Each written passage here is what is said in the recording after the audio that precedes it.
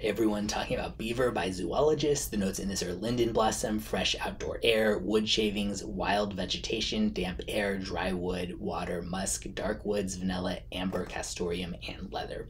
This is musky, smoky, and slightly animalic. Not as animalic as you would think, though. Um, it's unique, and there's definitely a minor underlying pungency to it, but it's not anywhere near as challenging as something like Tyrannosaurus rex by zoologists. The way the musk and linden blossom combine here creates almost like a faint, slightly urine like accord to me, though, which I find unappealing, as I'm sure most people would.